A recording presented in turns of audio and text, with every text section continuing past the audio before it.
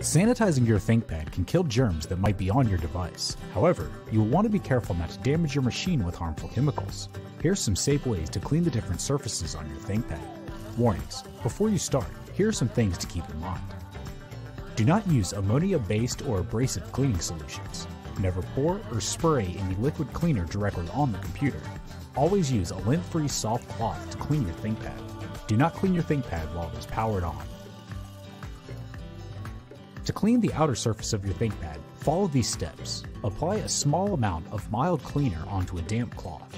Squeeze out any excess liquid from the cloth. Wipe the cover of your ThinkPad using circular motions, taking care not to let any liquid drip onto the machine.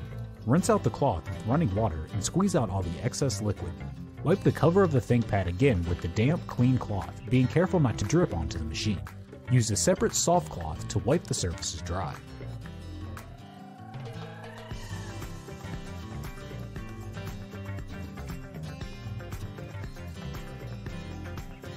To sanitize the keyboard on your ThinkPad, follow these steps. Apply a small amount of isopropyl alcohol to a soft cloth. Squeeze out any excess liquid from the cloth. Wipe the keytop surfaces with the cloth, ensuring no liquid drips on or between the keys. Wait for the surfaces to dry completely before powering on your machine. While cleaning your ThinkPad's keyboard, you can use a compressed air can to remove any crumbs and dust from between the keys. Do not use an air compressor to do this.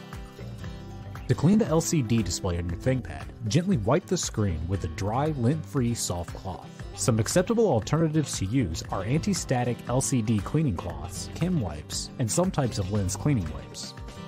To clean any smudges on the screen not removed by gently wiping with a dry cloth, follow these steps. Moisten a cloth with water or a 50-50 mixture of isopropyl alcohol and distilled water.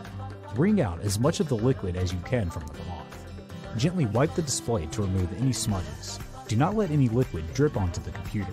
Allow the display to fully dry before closing the lid. Follow these steps every week to keep your ThinkPad clean and germ free.